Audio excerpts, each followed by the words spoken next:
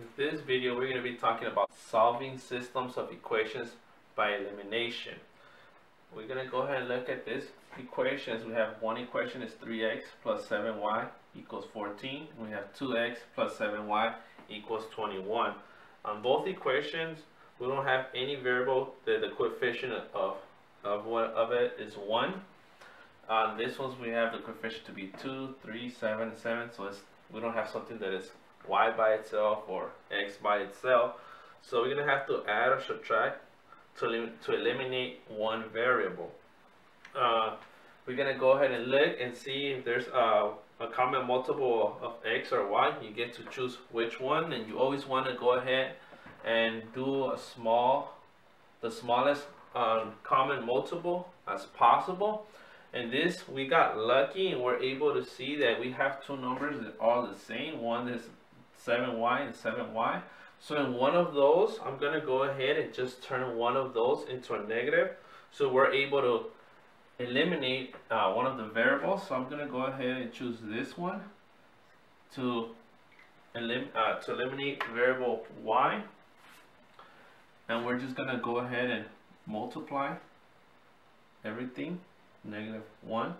Multiply everything. We're just going to bring down this equation, 3x plus 7y equals 14 and then we're going to go ahead and multiply. It's going to be negative 2x negative set a positive 7 times negative 1 is going to be negative 7y equals negative times a positive negative 21 so here it goes we're going to cancel 1 so we're like I said we're going to be adding or subtracting the equation. So on this one is going to go ahead and cancel that. And then we're going to have 3x minus 2x com combined like terms is going to be just x by itself equals 14 minus 21 because we have two different uh, signs. We have a positive 14 and negative, so it's going to be negative 7. So once we go ahead and solve for x, all we have to go ahead and do now is plug in uh, your x, which is negative 7, into any of the equations you want. So I'm going to go ahead and use this x equals negative 7 into the first equation. And wherever I see x, I'm just going to plug in negative 7. So I'm going to go and put 3 parentheses negative 7 plus 7y equals 14 because now I'm going to be trying to solve for y. So we're going to go ahead and do this. 3 times negative 7 is going be negative 21 plus 7y equals 14 after we do that that becomes a two-step equation. So remember if you still having problems two-step equation you can go back and look at my two-step equation video to just refresh so negative 21, we're going to do whatever you do on one side of the equal sign, we're going to do on the other side. So it's going to do positive 21. Whatever you do on one side, do it on the other side. It's going to cancel. Now you have 7y equals 21 plus 14. It's going to give you 35 because we're adding because two of the same signs, positive and positive. Then since this is multiplying, the opposite of multiplication is division. We divide by 7. Now we're going to have y equals 5. So when you go ahead and write it down, you can go ahead and write it down as negative 7 because that's your x and then you can say your y is going to be 5. In this example, we have negative x minus 7y equals 9 for the first equation. And in the second equation, we have negative x plus 9y equals negative 23. So this one we did get lucky because we have one equal coefficient of 1 on, on both of them. So all we have to do, remember to eliminate one, one has to be a negative and one has to be a positive. So I want to go ahead and choose the bottom one and just multiply that by a negative 1 to be able to eliminate x. So on this one, I'm going to eliminate x and solve for y and then I'm gonna go ahead and get y and solve for x. So I'm gonna bring down the first equation. Nothing's gonna happen to the first equation. Negative x minus 7y equals 9. Then I'm gonna do negative times the negative is gonna be positive x and neg positive times the negative is gonna be negative 9y equals negative times the negative is gonna be positive 23. After you go ahead and do that, you're gonna try to eliminate one. In this case, I'm eliminating, like I said before, x, because the negative and the positive is gonna eliminate. Then we're gonna have negative 16y, because we're adding because we have two of the same signs, equals, and then we have two of the same size, which will have 23 and 9 and that's going to give us 32 divide by negative 16 whatever you do on one side of the equal sign don't forget you have to do it on the other side of the equal sign. So now we're going to have y by itself so this cancels equals negative times positive is a negative and 16 goes into 32 two times so now that we have y you can go ahead and put y to one of the fractions. You can choose any one. I'm to go ahead and choose the top equation for this one. So I'm to go ahead and just plug in y as negative 2. We're to leave that as negative x minus 7. What is y? It's to be negative 2 equals 9. So we still have negative x. Negative times a negative is a positive 14 equals 9. To get rid of this becomes a one-step equation, two-step equation, I'm sorry. Negative 14. Whatever you do on one side of the equal sign, you gotta do it on the other side. It's gonna cancel, leaves negative x equals two different signs, a 9 and a 14. We're gonna subtract. What's bigger, 9 or 14? 14. So what's in front of the 14 is a negative sign. So you're gonna have a negative, and then you're going to go ahead and subtract. It's going to give you 5. So now, remember the rule is we cannot have the variable to be, it's by itself, but it's negative. So we got to get rid of the negative to make it a positive variable. So x equals negative times negative, positive 5. So we go ahead and write it down as 5 as your answer, 5. And your y, which is going to be negative 2.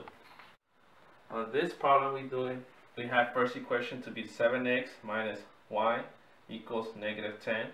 And on the other equation, we have negative 7x plus 5y equals negative 6. you haven't yet, go ahead and like and subscribe the video. If you're having friends that are having problems with this as well don't forget you can go ahead and share the video with them. So let's go ahead and start with this.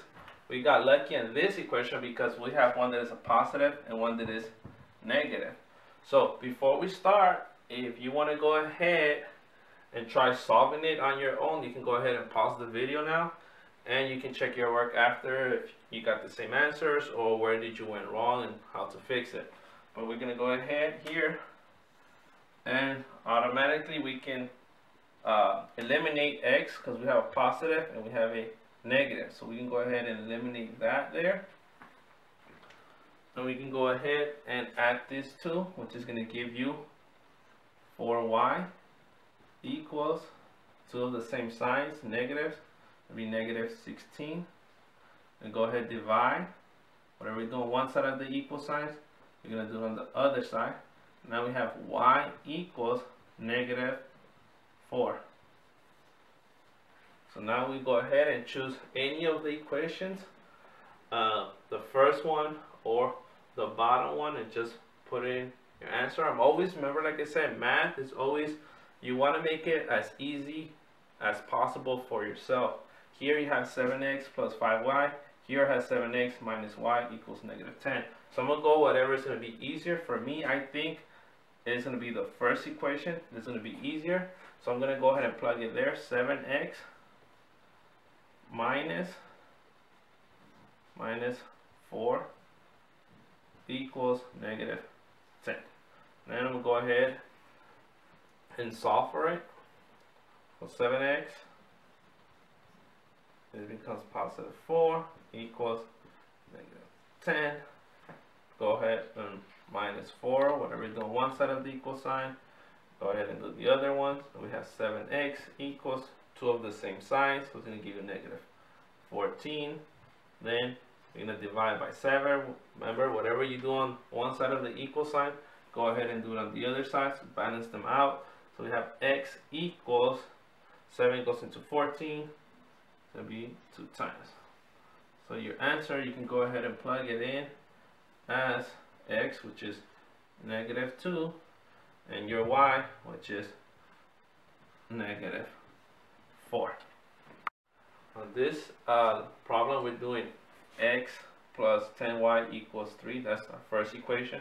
Our second equation is 4x plus 5y equals 5. For me, I'm to go ahead and try to eliminate y because I feel like that one's the easiest y. y is the easiest one to get eliminated. So I'm going to go ahead and multiply this by negative 2 to be able to to eliminate y. So I'm going to bring down the first equation. I don't touch nothing from this first equation. Then I'm just going to multiply negative 2 times 4x. So we're going to go ahead multiply everything by whatever is there inside the parentheses. So we're going to go ahead and do negative 8 x, the positive times the negative is going to be negative 10y. The positive times the negative will be negative 10. So we're going to go ahead and eliminate y because we have 10y positive and a negative 10y. And then we're just going to go ahead and add them. Uh, x positive minus 8x is going to give you negative 7x equals negative 7.